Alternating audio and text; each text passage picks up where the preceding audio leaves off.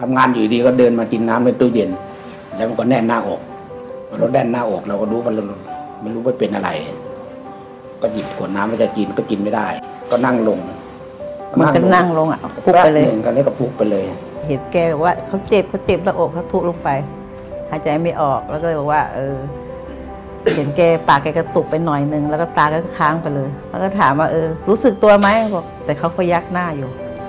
แต่ถามว่าเจ็บไหมเจ็บแต่พูดไม่ได้แล้ว ทางหมอก็บอกว่า สงสัยจะเป็นเส้นเลือดตีบหรือเปล่า ถ้าเส้นเลือดตีบก็ต้องมีการผ่าตัดรีบรักษาเขาก็บอกเลยนะพอดีห้าทุ่มหมอมาเจาะพอเจาะเสร็จก็บอกว่าเส้นเลือดแตกบอกว่า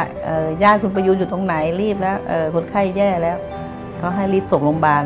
ให้ตัดสินใจด่วนอย่างเงี้ยก็บอกอะถ้างนั้นก็เลยบอกว่าลูกสาวช่วยหาโรงพยาบาลที่พญาไทสองให้ เขาบอกว่าแย่แล้วคนไข้ไม่มีเปอร์เซ็นต์รอดเลย โรคความดันโลหิตสูงผมเชื่อว่าเป็นปัญหาทางสุขภาพที่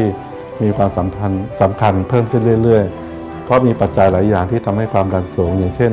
คนไทยอายุที่ยืนยาวขึ้น คนเราพออายุมากขึ้นเนี่ยความดันโลหิตก็มักจะสูงขึ้นนะฮะแล้วก็รับการรับประทานอาหารก็มีส่วนนะอย่างเช่นทานอาหารที่มีรสเค็มจัด หรือการใช้ผงชูรส ซึ่งมีองค์ประกอบสำคัญคือโซเดียมโมโนกลูตาเมต ภาวะแทรกซ้อนอันหนึ่งที่สำคัญของความดันโลหิตสูงก็คือ มีเลือดซาะเข้าไปในผนังหลอดเลือดแดงใหญ่ ตัวนี้มักจะไม่มีอาการนะเป็นกระทันหัน แล้วก็ถ้าไม่รักษาอย่างฉุกเฉินทันท่วงทีคนไข้ก็มักจะเสียชีวิต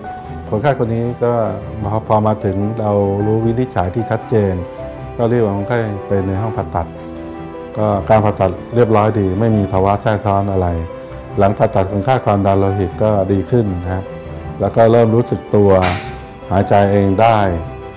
เอาเอ่อเอาจากเครื่องช่วยหายใจได้หลังการผ่าตัดประมาณ 24 ชั่วโมงเท่านั้นเอง ก็ดีใจที่เขาไม่เป็นไรมาก หายปกติทุกอย่าง ก็ขอบคุณโรงพยาบาลพญาไทสองด้วยที่ช่วยรักษาให้พี่ประยูนได้หายแบบปกติร้อยเปอร์เซ็นต์ก็มีความดีใจแค่นี้ก็พอแล้ว